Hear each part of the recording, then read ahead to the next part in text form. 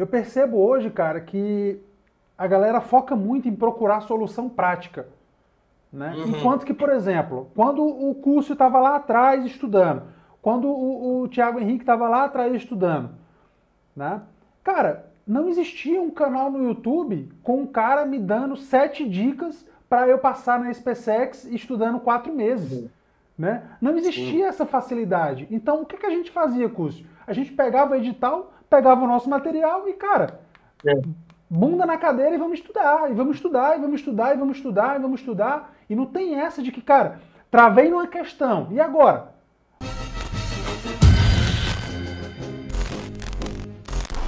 Ah, é. a gente dava o nosso jeito. Né? Então, é, é eu percebo verdade. hoje que a galera procura demais a facilidade, procura demais a fórmula mágica, só que ela não existe, cara. Né? A realidade é que ela não existe. Não acredita em atalho. Não existe.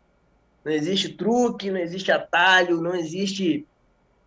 Eu, eu por exemplo, eu sou, eu sou muito é, cético, né? Quando o cara começa a me apresentar uma coisa muito fácil. Pô, é uma realidade você passar num, num, concurso do nível da SPTX quatro meses? É.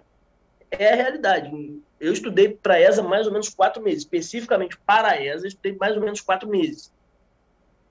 É, só que eu estudava né, praticamente o dia todo, chegava à noite, eu tinha um amigo que ele trabalhava numa farmácia, então a gente se via à noite e eu meio ali tentava ensinar para ele. É o que eu tinha visto ali durante o dia, a gente tentava bater os assuntos. Né? Então, assim, é, basicamente estudar o dia inteiro, né?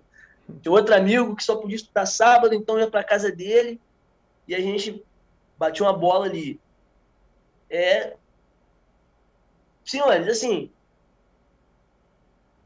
é lógico que o ideal é a gente ter tempo, né? Para o cara dar um cacete ali, estudar firme ali um ano, dois anos que seja, e ele tá pronto ali, né, pro, pro concurso, né? Uma história aqui que a gente, né, que, eu, que, que é bacana aí nesse quesito, né? Que não sei se todo mundo conhece, né? Que é a história do Capitão Cacavo. Ele, ele fez, ele passou na, na SpaceX na quarta tentativa quarta tentativa. Então, pô, quer, quer dizer, foi um cara que teve força de vontade para continuar na empreitada há quatro anos.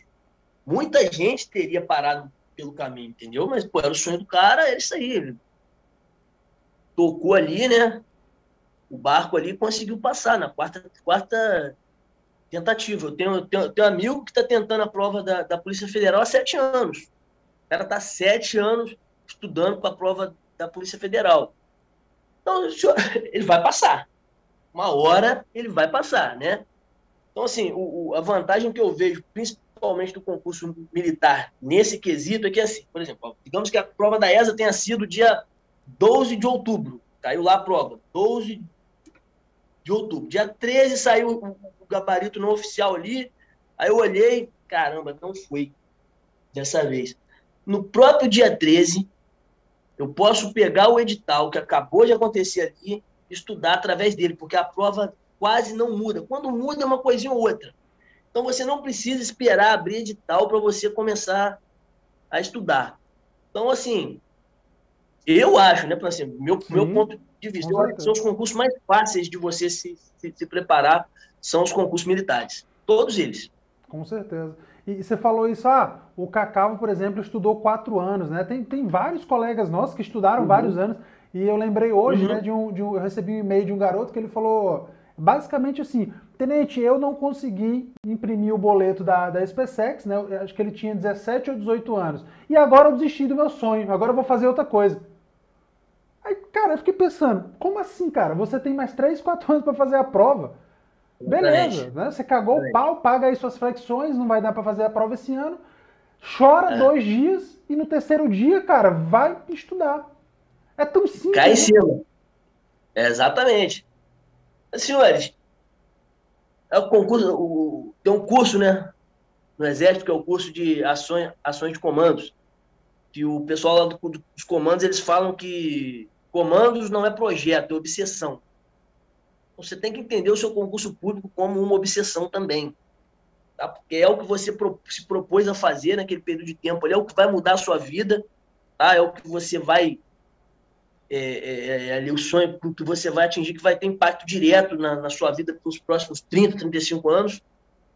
Então, senhores, é isso, é transformar em obsessão. É você, você não pode perder a, a, a data de pagar o boleto, porque o dia que o boleto estiver disponível, você tem que pagar na primeira oportunidade. Não, não dá chance, não, dá, não deixa para o último dia, enfim, né? Isso é uma da, entre as outras coisas né? Como, como tem essa, essa do boleto, você também não pode deixar, não, vou estudar mais perto, não, vou esperar sair o edital. Senhor, não é o ideal.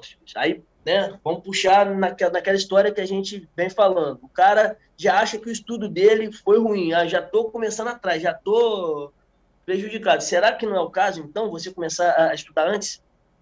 Começa antes, pô.